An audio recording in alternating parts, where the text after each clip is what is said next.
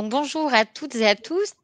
Et je suis Myriam Victor et je suis ravie de vous accueillir euh, donc à cette nouvelle webconférence de Jury Travail qui est à destination des chefs d'entreprise, des RH, des représentants syndicaux et des élus de CSE. Aujourd'hui, nous allons aborder un sujet qui nous concerne tous euh, puisqu'il s'agit du temps de travail. Donc avant euh, d'entamer cette webconférence, juste quelques mots pour vous présenter Jury Travail euh, pour ceux qui ne nous connaissent pas encore. Donc, Jury Travail est le leader de l'informatique juridique en ligne. Euh, c'est tout d'abord un très grand nombre d'articles sur l'actualité euh, juridique, mais c'est surtout un abonnement qui vous donne accès à une base documentaire juridique rédigée dans un langage clair. cet abonnement vous donne également accès à de nombreux modèles de lettres, de courrier, de contrat ou même d'accord qui vous feront gagner un, temps précieux. Et enfin, cet abonnement vous donne également accès à notre équipe de juristes qui est basée à La Rochelle et euh, qui répondent à toutes vos questions par téléphone.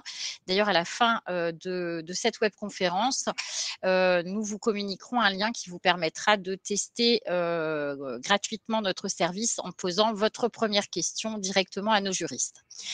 Alors, Jury Travail, c'est également un réseau euh, d'avocats auquel appartient euh, maître Françoise Félicie, avocate au barreau de Paris, que nous avons le plaisir d'accueillir euh, aujourd'hui. Donc, bonjour à vous, maître, et merci d'être parmi nous. Bonjour, merci de m'accueillir. et donc, je vous euh, communique euh, également, les, comme d'habitude, les coordonnées de Maître euh, Félicie. si vous avez besoin du moindre conseil juridique, n'hésitez pas à la contacter.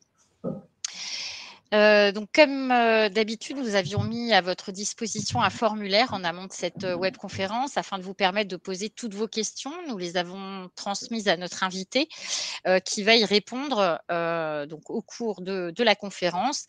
Alors, nous avons prévu 45 minutes. Nous allons essayer de nous y tenir, même si le, le sujet est vaste.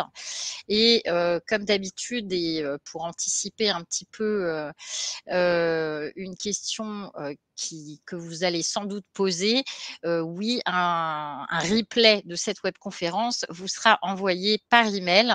Donc, vous, recevrez la vidéo euh, quelques jours après, euh, après cette, cette webconférence. Alors, si vous voulez poser des questions au cours de la webconférence, je vous invite à les poser dans l'onglet questions qui est à droite de l'écran. Vous avez bien trouvé l'onglet chat, donc l'onglet questions est, juste à côté.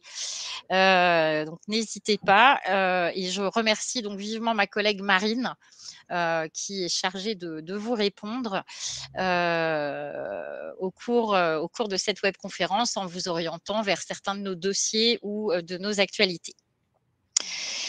Alors, toutes les questions que vous nous avez envoyées ont été regroupées dans trois thèmes, enfin, trois thèmes différents. Donc, d'abord, le temps de travail, ce que nous dit le, Code du travail.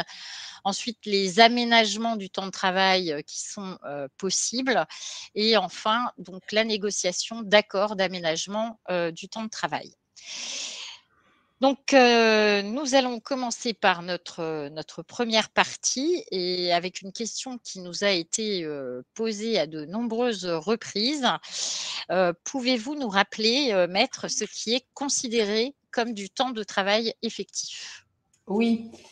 Alors, le temps de travail effectif, je vais vous donner la définition que donne le Code du travail et vous donner quelques exemples parce que ça sera un peu plus parlant. Donc, le temps de travail effectif, en fait, ça désigne le temps pendant lequel le salarié est à la libre disposition de son employeur et qu'il suit ses directives et qu'il ne peut pas euh, vaquer à ses occupations personnelles. C'est la définition à retenir. Alors, pour être plus précise, euh, ce qui constitue du temps de travail effectif, ça va être par exemple euh, le temps de, préparation quand on arrive sur son lieu de travail, le temps d'habillage et de déshabillage. Ça, c'est du temps de travail effectif. Effectivement, bah, c'est le temps euh, qu'on travaille effectivement, donc on réalise une prestation euh, pour l'employeur. C'est le temps de déplacement à l'intérieur de la journée de travail pour le compte de l'employeur. En revanche, euh, ce qui ne correspondra jamais à du temps de travail effectif, ça va être l'astreinte en tant que tel, mais on y reviendra. Le trajet du matin, euh, quand on quitte son domicile et qu'on va sur son lieu de travail, ça, c'est pas du temps de travail effectif. La pause et le repos, ça l'est pas non plus. Et euh, le temps de restauration, lorsque le salarié a le droit d'aller euh, de sortir et d'aller manger où il veut. Ça, c'est pas du temps de travail effectif. Voilà. D'accord, très bien. Alors, une autre question qui nous a été posée plusieurs fois concerne donc les, déplacements professionnels. dans, dans, ce cas-là, est-ce que le temps de trajet est à considérer comme du temps de travail effectif? Alors là, du coup, ça me permet de faire le lien avec ce que je viens de vous dire. Le déplacement du matin, non. Enfin, en tout cas, en, droit français, entre euh, le, matin quand on part de chez soi, qu'on va sur son lieu de travail, non, c'est pas du temps de travail effectif. Le soir non plus. Ça, c'est le droit français. Le droit européen considère que tout est du temps de travail effectif, hein, mais pas chez nous. En revanche, entre les deux, c'est-à-dire que euh, si je travaille par exemple dans un secteur où je dois me rendre chez un certain nombre de clients, et eh bien là, tous les déplacements qui sont compris dans ma journée de travail et qui surtout sont faits pour le compte de l'employeur et pour exécuter ma mission, ça, euh, ce temps de déplacement-là, il est payé parce que c'est du temps de travail effectif. Donc, par exemple, les commerciaux, euh, quand ils vont visiter les clients, c'est du déplacement professionnel dans le cadre de son activité, ce pourquoi on est engagé. Donc, c'est du temps de travail effectif, c'est payé. Si vous allez sur un salon, c'est pareil. Si vous prenez le train, l'avion pour vous y rendre, tout ça, c'est du temps de travail effectif, donc ça doit être payé. Très bien, merci beaucoup. Et je sais qu'il y a pas mal d'inscrits euh, qui viennent du milieu médical. C'est pareil pour les infirmières ou les aides-soignantes qui se déplacent à domicile. Le déplacement entre chaque patient est considéré euh, comme du, temps euh, de travail effectif. Après, les, conventions collectives parfois prennent certains arrangements avec ça, mais en tout cas, la loi et la jurisprudence sont, sont venus recadrer dans le secteur en indiquant que les déplacements entre deux patients, en tout cas pour le service à la personne notamment, c'est du temps de travail effectif qui doit être rémunéré. Mm, mm. Alors, il y a une petite question que nous a envoyée Anissa euh, qui demande euh, pourquoi le, droit européen ne prévaut pas sur le droit français, en fait? Bah, on, est, on essaye hein, de le faire prévaloir sur certaines dispositions quand ça nous arrange, hein, c'est-à-dire pour les déplacements professionnels des commerciaux, par exemple. Euh, on va considérer que le droit européen s'applique. Mais euh, en réalité, euh, c'est le droit franco-français jusqu'à présent qui s'applique. alors, Dorian, ne vous inquiétez pas, on parlera des temps de pause un petit peu plus tard. Euh, alors, euh, maintenant, donc venons-en aussi au, vraiment au code du travail français euh, qui fixe une durée maximale du travail par jour et par semaine. Quelle est cette, cette, durée de travail maximale qui, est fixée et quelle est la, durée normale entre guillemets bah, la durée normale depuis qu'on est passé aux 35 heures par les lois Aubry, donc c'est-à-dire en 98, on est à 7 heures, puisque si on fait 7 fois 5 jours, ça fait 35. Donc ça, c'est la journée dite normale et habituelle qu'on peut retrouver. Mais le Code du travail nous fixe quand même une durée euh, max. Donc la durée maximum par jour, c'est 10 heures. La durée maximum par semaine, c'est 48 heures. Donc ça, c'est les deux durées à retenir. Après, il y a des exceptions. On peut passer à 12 heures par jour à, condition d'obtenir euh, d'abord, il faut que ce soit des cas d'urgence euh, très exceptionnels, il faut qu'on ait une activité accrue, on est vraiment dans du, très, très exceptionnel, et là, il faut l'accord de l'inspection du travail. Donc, il faut le prévoir en amont, hein, puisqu'il faut l'accord de l'inspection du travail, il faut avoir le temps de le prévenir et de lui demander. Et l'autre exception à la semaine, la semaine maximum, c'est 48, et on peut aller jusqu'à 60, mais là encore, il faut qu'on soit dans des circonstances exceptionnel. Par exemple, on est dans un secteur qui intervient pour euh, la défense, l'armée, pour l'État, et on a besoin à un moment euh, d'aller plus loin. Euh, et là, pareil, il faut demander l'accord du CSE et il faut demander l'autorisation à l'inspection du travail. Donc ça, c'est les circonstances exceptionnelles. D'accord, mais effectivement, il ne faut pas être trop dans l'urgence parce que l'accord du CSE et de l'inspection du travail, ça prend, ça prend, du temps. plusieurs jours, oui. Alors, toujours une petite question qui nous a été envoyée, et ça nous avait été envoyé aussi, un, enfin, un cas un peu similaire nous avait été envoyé aussi par, euh, par email avant. Euh, donc, David nous dit qu'il part pour un stage, euh, donc j'imagine professionnel, à Barcelone, et le, son départ est le dimanche soir. Le dimanche doit-il être rémunéré? Bah, c'est difficile de répondre oui ou non comme ça parce que chaque, chaque cas est particulier en fonction euh, euh, de la situation contractuelle et conventionnelle. Ça dépend de ce que prévoit son contrat, ça dépend de ce que prévoient les usages, la convention collective, la convention d'entreprise et de branche. Euh, je, vous dirais, mon, cœur vous dirait en se basant sur le code du travail, oui, puisque euh, c'est un déplacement qui ne fait pas pour lui, mais pour, le, pour son travail. Donc ça doit être rémunéré. Après, euh, dans les détails, euh, il y a toujours quelque chose qui se cache dans les détails. Hein. et quand on est juriste, il faut qu'on voit les détails. Mmh, tout à fait. Merci beaucoup. alors, le nombre d'heures supplémentaires est donc lui aussi plafonné. Pouvez-vous nous rappeler en fait le, volant d'heures supplémentaires qui est, euh, autorisé euh, par le Code du travail? Alors, un point quand même important, c'est que les heures supplémentaires, elles doivent toujours être commandées, demandées par l'employeur. Ensuite, on a un volume qui est de 220 heures à l'année. Donc ça, c'est le volume réglementaire. Il y a des conventions collectives qui peuvent prévoir euh, un autre volume, mais il faut retenir 220 heures par salarié et par an. D'accord. Donc, euh, c'est euh, le, nombre à euh, ne pas dépasser. Exactement. Alors, une autre question, alors très très précise qui nous a été envoyée. Peut-on demander à des salariés d'effectuer 56 heures de travail en une semaine? Donc, on a bien vu qu'on était au-delà du plafond prévu par le Code du travail et leur accorder la semaine suivante en récupération tout en leur accordant une prime de 400 euros si on reste dans le droit commun, je vous dirais non, parce que premièrement, comme je viens de vous le dire, la durée maximum, c'est 48 ou 60 circonstances exceptionnelles. Donc déjà, si on fait 56, on n'est euh, pas dans les clous. Et deuxièmement, euh, euh, les heures supplémentaires, elles sont payées avec une majoration.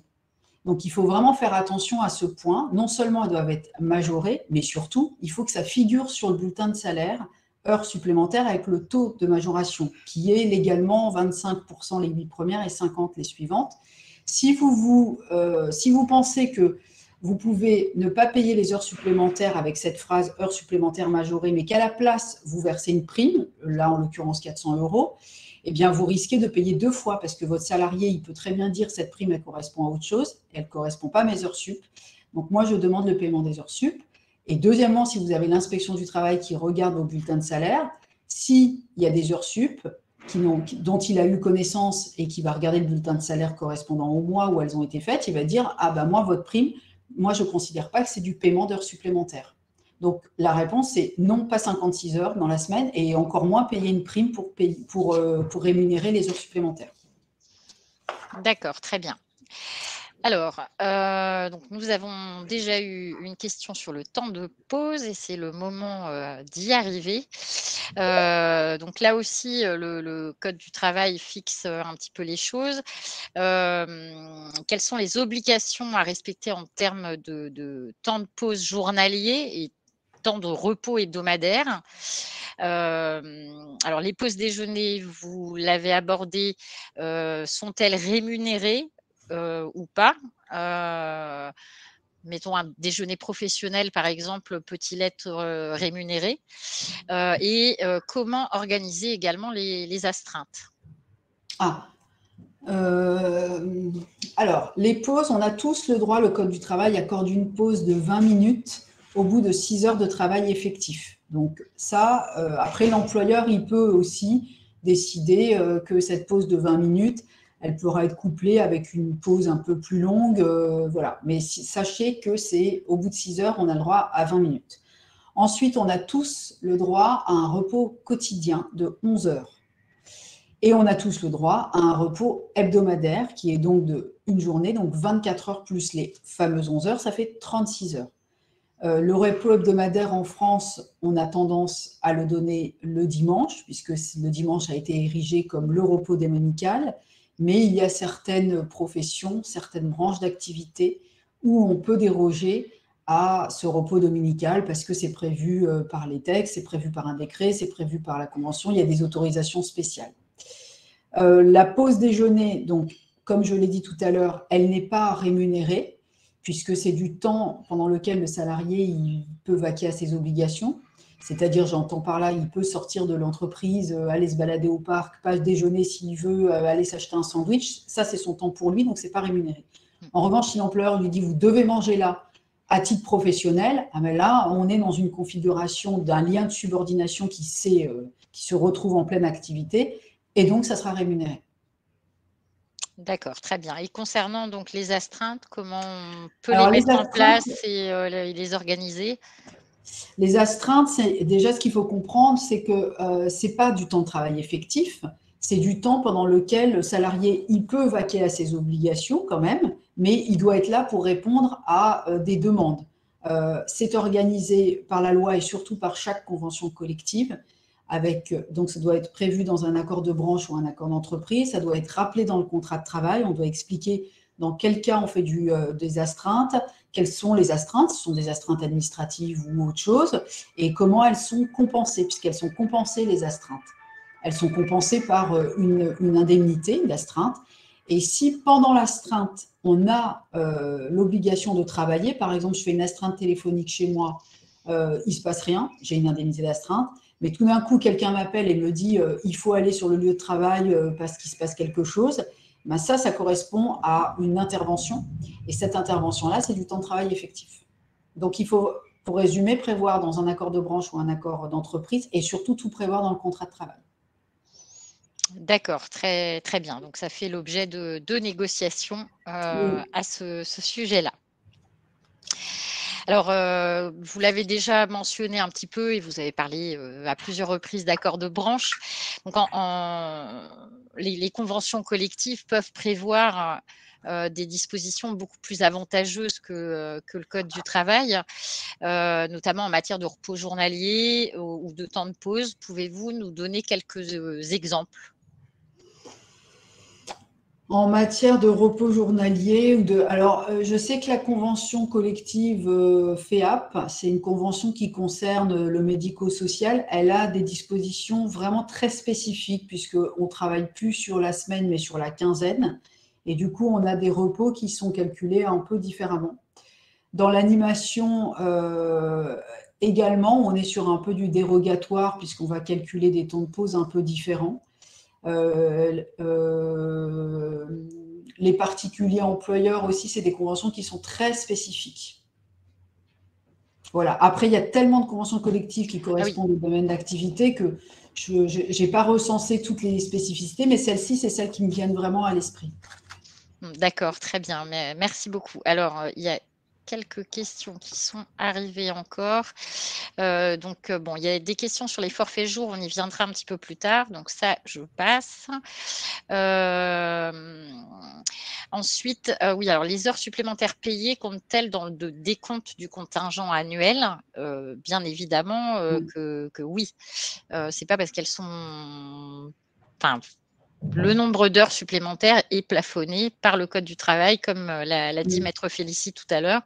Et donc, euh, oui, il faut, euh, il faut bien, bien en prendre, enfin, en tenir compte dans, dans le contingent annuel.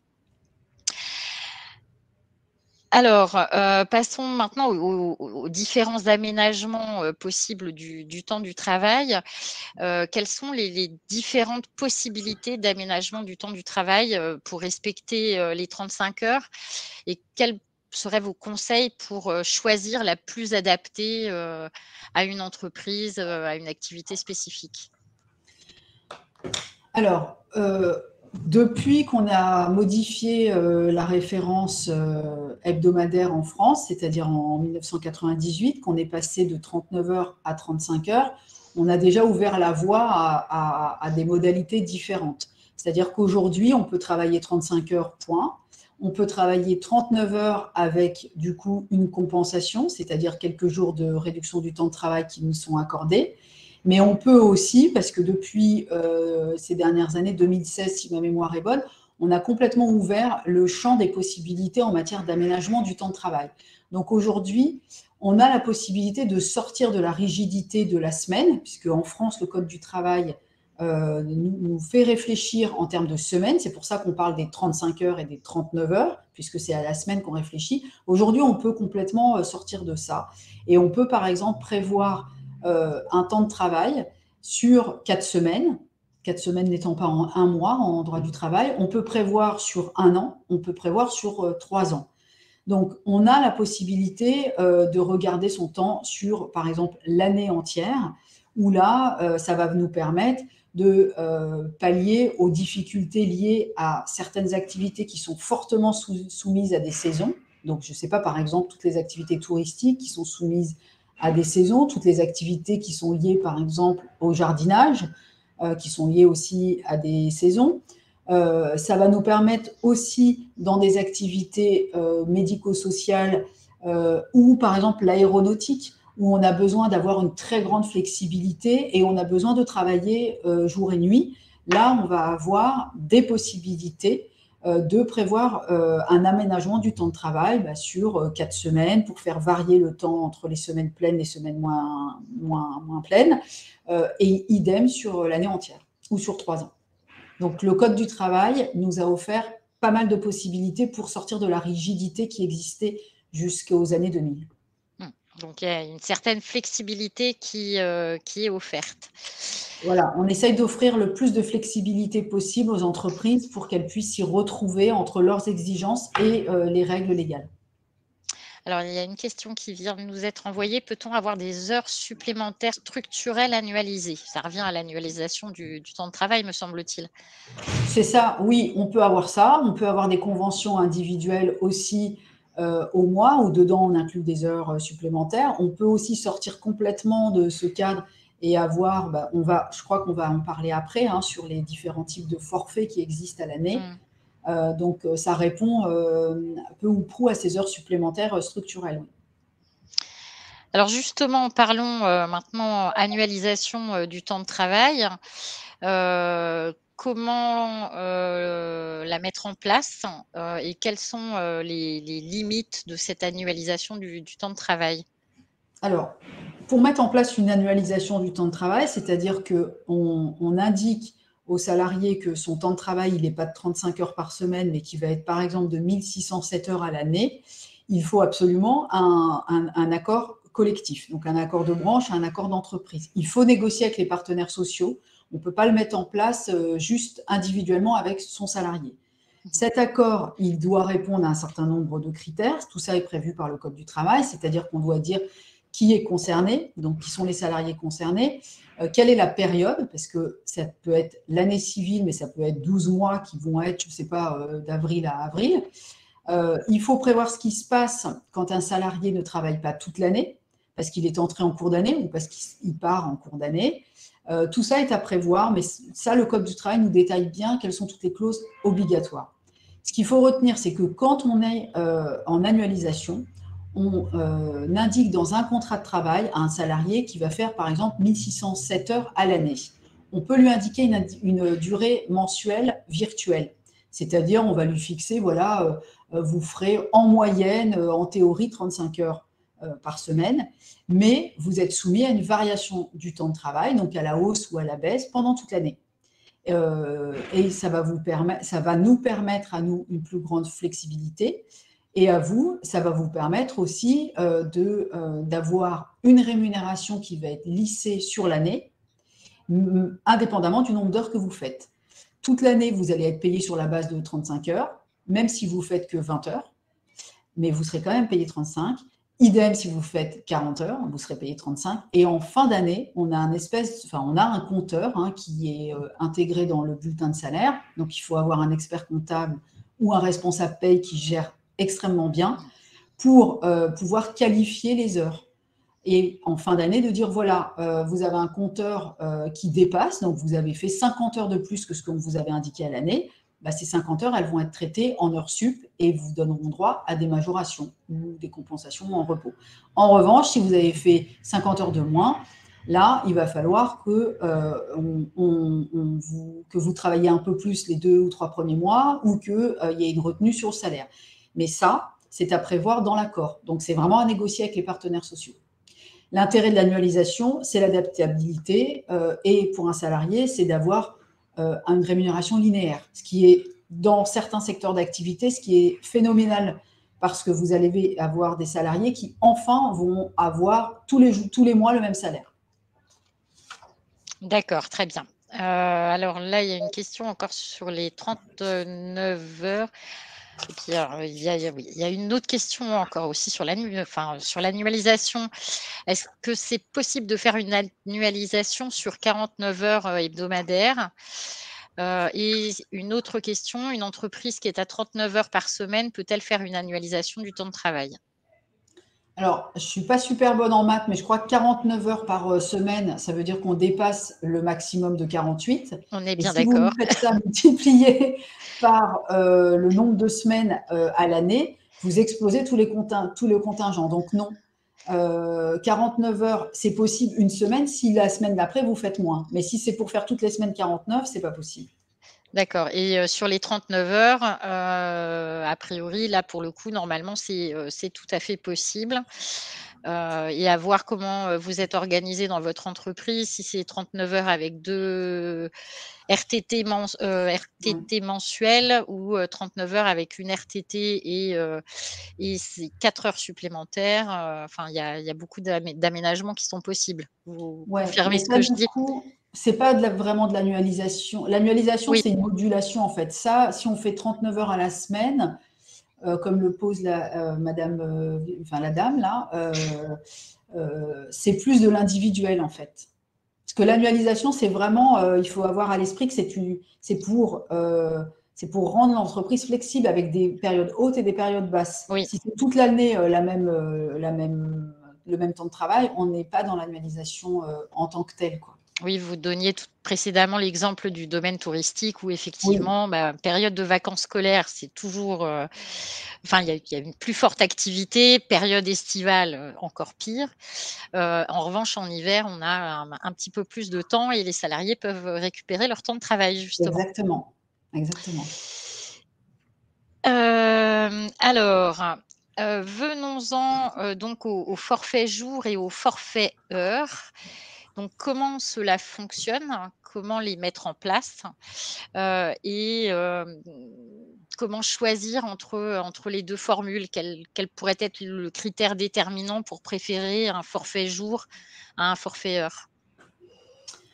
Alors, forfait heure et forfait jour ont de cela en commun que c'est sur l'année et c'est collectif. Donc, ça doit être prévu par un accord collectif euh, qui doit prévoir qui sont les salariés concernés, euh, et qui doit prévoir. Donc, les salariés concernés, il faut savoir que c'est toujours des gens euh, qui euh, ont une grande autonomie dans l'organisation de leur travail et qui ne, peuvent pas avoir un temps de travail prédéterminé.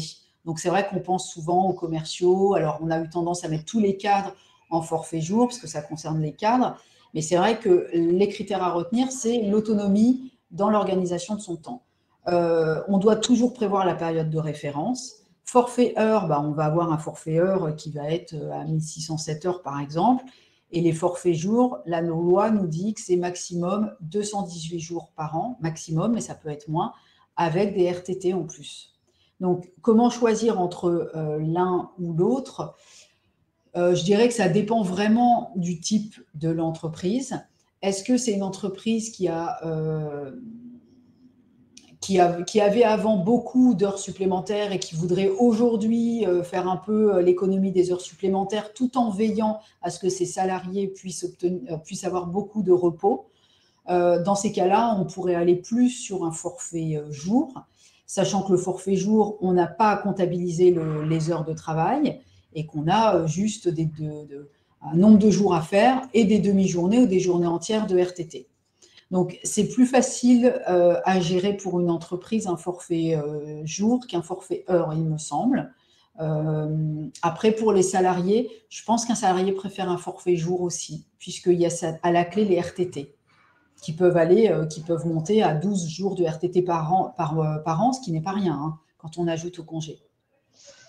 D'accord, très bien. Et justement, donc, sur ces, forfaits, quels sont les avantages et les, inconvénients. Et puis, je vous demanderai de, préciser effectivement les, deux points de vue euh, possibles, puisque euh, parmi nos internautes, nous avons des RH donc, qui vont avoir une vision plutôt employeur, mais nous avons également des représentants du personnel qui, eux, vont plutôt avoir une, une vision salariée. Alors, pour les forfaits heures, ça concerne les cadres, mais pas que les cadres. Donc, le premier avantage, ça peut concerner des gens qui ne sont pas cadres à condition qu'ils aient une autonomie. Deuxièmement, ils ne sont pas limités par euh, un contingent annuel d'heures supplémentaires. Donc ça aussi, euh, c'est intéressant. Les forfaits jours, ça concerne les cadres. Donc il faut vraiment soit on change le statut d'un salarié euh, et on le fait, si c'est un état, on le fait passer cadre, à condition qu'il ait une véritable autonomie dans l'organisation de son temps. Et l'intérêt pour le salarié, moi je trouve que c'est vraiment d'avoir ces RTT en plus. D'accord. Et il n'y a pas d'inconvénient majeur, du Alors coup à ces l'inconvénient majeur, c'est que, depuis quelques années, la Cour de cassation, elle s'est penchée sur ces forfaits jours parce qu'à un moment, c'était devenu un peu, pour le pour les pour beaucoup d'employeurs qui ne voulaient pas payer d'heures supplémentaires, hein, disons-le clairement, ou qui avaient besoin d'avoir des salariés qui travaillaient, un peu plus que ce qu'ils auraient dû, on passait tout le monde en forfait jour. Comme ça, au moins, on s'affranchissait d'un point important, c'est le décompte du temps de travail. Puisqu'on n'avait plus à décompter les heures faites par le salarié, on, réfléchissait en termes de nombre de jours. Donc la Cour de cassation a dit à un moment stop. Euh, il faut, je suis garante de la santé au travail, je suis garante des repos des salariés. Donc, il ne suffit pas de dire vous êtes en forfait jour et que vous avez le droit à vos congés payés et vous avez le droit à vos RTT il faut aussi que l'employeur veille à la bonne articulation entre la charge de travail et la vie euh, personnelle. Et donc, on a obligé les partenaires sociaux des branches à renégocier un volet euh, prise en compte de la qualité de vie au travail, de la charge de travail dans leurs accords, ce qui a été fait. Et on a forcé ensuite l'échelon de l'entreprise à s'intéresser réellement à la charge de travail. On s'y intéresse comment? Avec le fameux entretien, dans le, cadre de l'entretien annuel d'évaluation des performances ou de rencontre de son salarié, il faut absolument, pour les salariés qui sont au forfait jour, prévoir une discussion sur la charge de travail et sur euh, euh, la, conciliation entre sa vie privée et sa vie personnelle.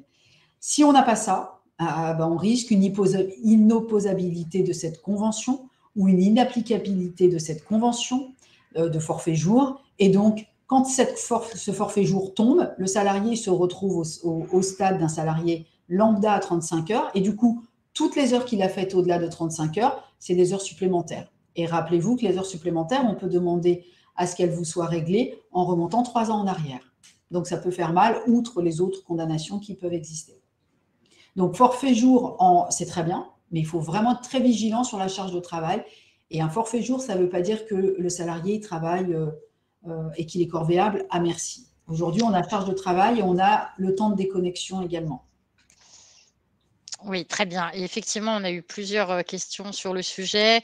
J'ai vu une question passer sur le chat où quelqu'un parlait d'un cadre qui était au forfait jour et qui faisait très régulièrement 57 heures par semaine. Mmh. Mmh. ça, et la personne demandait quels étaient, enfin, quels étaient les droits de ce salarié. Bah, clairement, de ce que vous disiez, la, la convention forfait jour dans ce genre de conditions peut être dénoncée.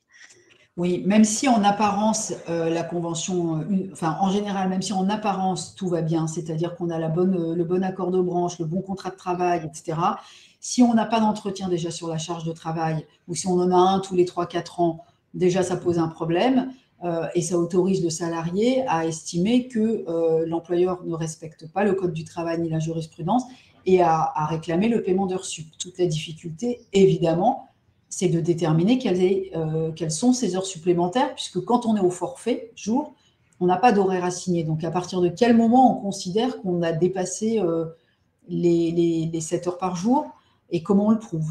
Mais en tout cas, c'est un risque important pour l'employeur hein, s'il ne respecte pas euh, les exigences jurisprudentielles.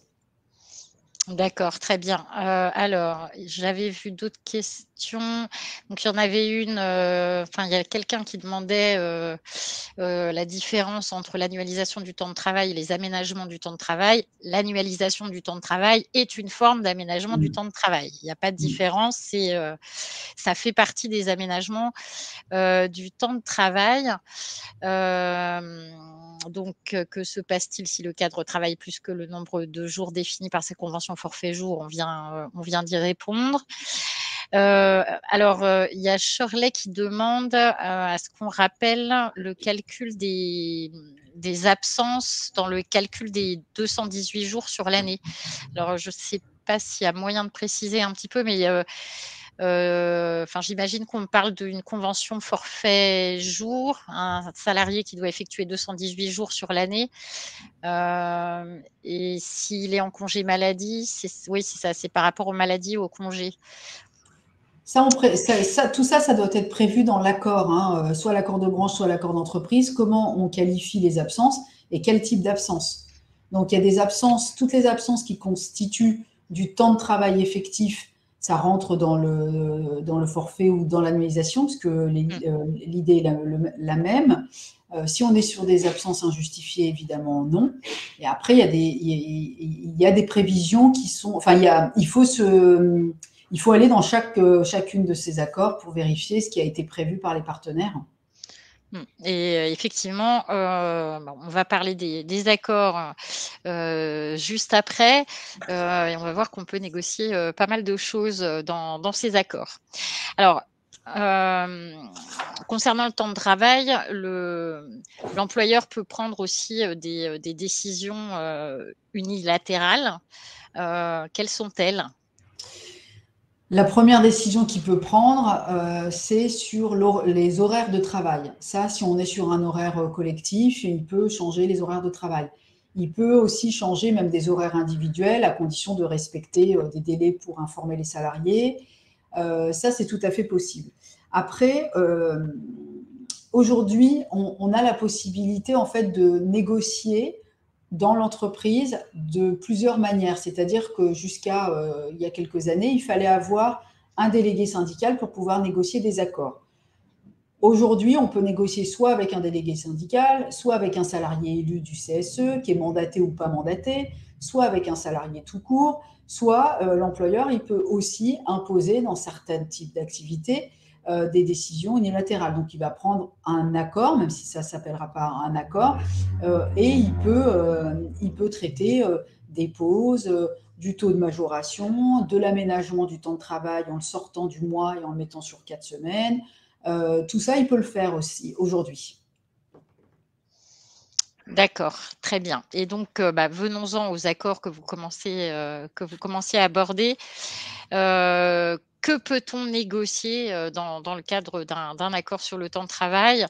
Et pour ce type d'accord, et ça reprend pas mal de questions qui sont passées soit sur le chat, soit dans l'onglet questions, dans ce type d'accord, est-il possible pardon, de déroger même défavorablement aux accords de, branche, donc aux accords de, liés à la convention collective bah, alors aujourd'hui, oui, on, si, on, a un espèce de renversement en fait euh, d'un principe.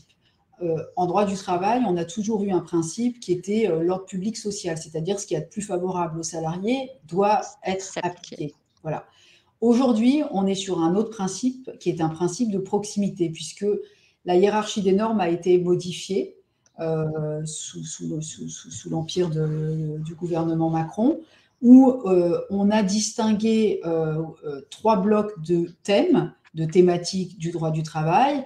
Et dans ces trois blocs, on peut ou pas négocier en respectant les accords de branche sur certains thèmes, en s'affranchissant des accords de branche et en négociant sur ce que l'on veut. Donc aujourd'hui, le chef d'entreprise a une liberté beaucoup plus large ce qu'il avait avant. sa liberté va jusqu'à déroger effectivement euh, à euh, certains points des accords de branche, ce qui n'était pas le cas avant. Donc aujourd'hui, la négociation permet de faire ça. Il y a un autre point, c'est que euh, on a les accords de performance collective qui ont été créés aussi récemment. Et ces accords-là, sous couvert d'un nom de performance collective, hein, puisque le but est de donner du souffle à une entreprise, de lui permettre d'être plus performante, dans ce type d'accord, l'employeur peut revoir aussi euh, le temps de travail de manière un peu plus large et ça s'impose euh, individuellement. Donc, ça peut aller à l'encontre de dispositions du contrat de travail qui étaient plus favorables. Et ça, c'est une vraie révolution en droit du travail. Donc ça, c'est né avec les ordonnances Macron et les lois El Khomri, euh, c'est bien ça? Exactement.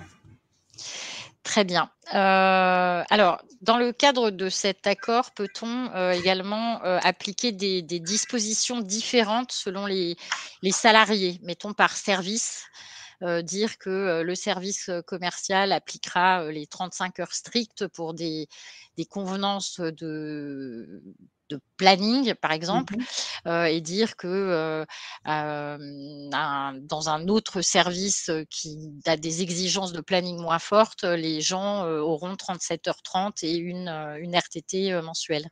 Oui, bien sûr.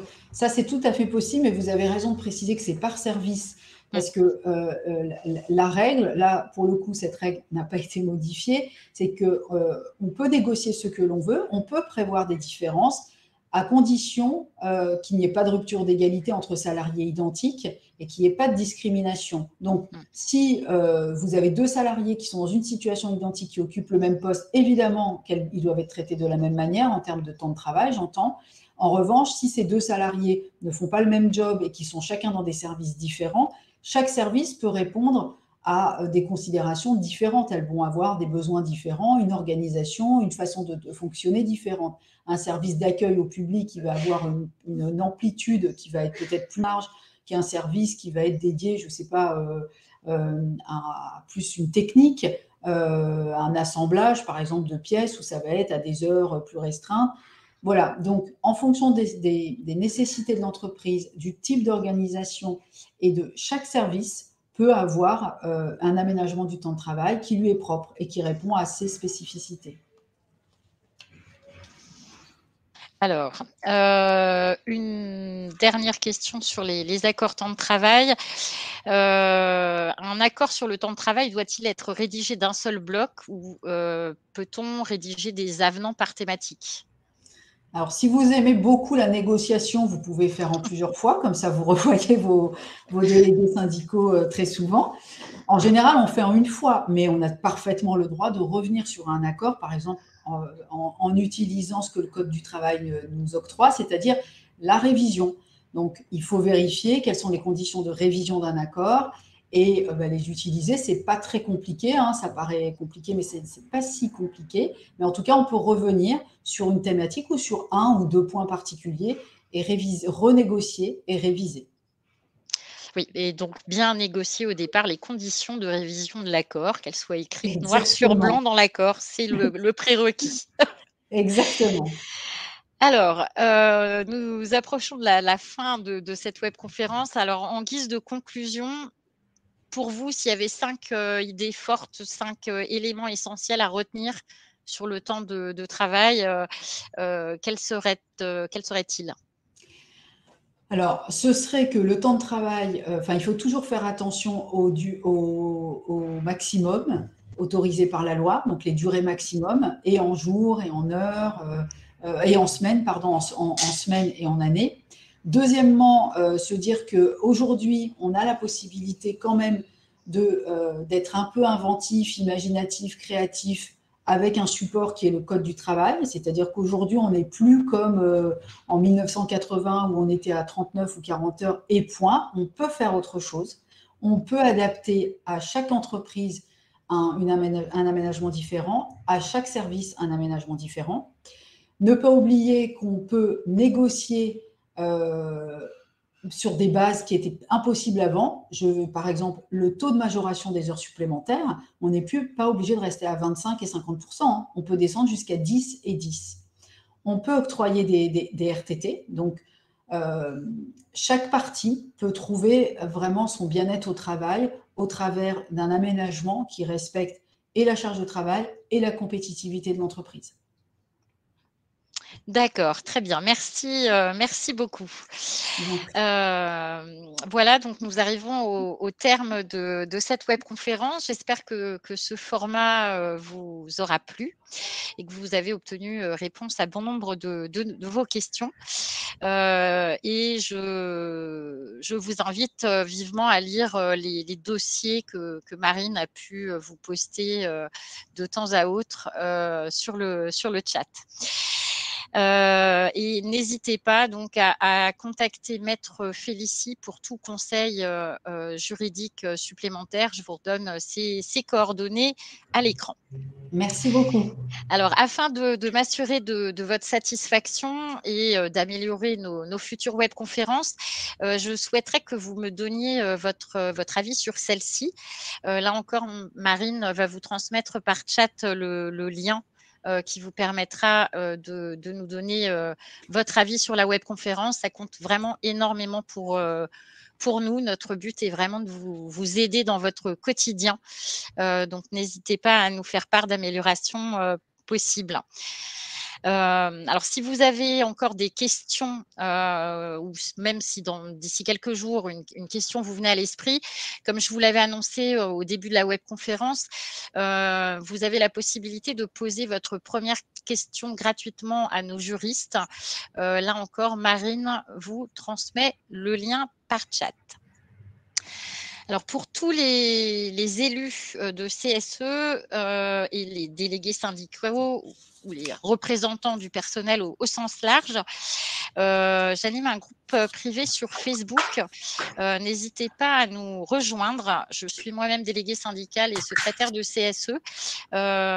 et j'ai voulu créer une communauté où nous pourrions échanger autour de nos problématiques d'élus qui sont nombreuses. Donc, c'est un groupe très bienveillant et qui attend votre, votre inscription. Euh, donc j'espère que euh, les personnes concernées euh, viendront s'inscrire à l'issue de cette webconférence. Alors pour celles et ceux euh, qui ne sont pas encore abonnés à nos newsletters qui vous permettent euh, de, recevoir euh, de, l'actualité juridique toutes les semaines et qui vous permettent aussi d'être informés de nos futures webconférences. N'hésitez pas à vous inscrire. Donc, c'est le grand moment de Marine qui transmet énormément de liens. là encore, Marine vous transmet le lien pour vous inscrire à nos newsletter euh, donc, euh, que, vous recevrez donc de manière hebdomadaire. Dernière annonce, euh, je vous donne rendez-vous donc pour notre prochaine webconférence qui aura lieu le 24 mai à 14 heures toujours. donc nous aborderons un thème différent euh, plutôt, euh, plutôt axé sur le droit des affaires et, euh, et, le droit de la consommation, puisque nous allons aborder les conditions générales d'utilisation, les conditions générales de vente et les mentions légales. donc, cette webconférence s'adressera plus aux chefs d'entreprise, aux responsables administratifs et financiers ou aux directeurs administratifs et financiers. Elle sera animée par Yvan euh, avocat au barreau de Bordeaux, qui animera donc cette, euh, cette webconférence avec moi et euh, je serai ravie de vous y retrouver donc le 24 mai à 14h. merci encore à vous, Maître Félicie, d'avoir accepté d'animer cette webconférence avec moi. Je vous dis à, très bientôt, j'espère. À très bientôt. Euh, je vous remercie tous euh, d'être venus encore aussi nombreux euh, à cette, à cette webconférence. Je vous dis au revoir et à très bientôt. Au revoir.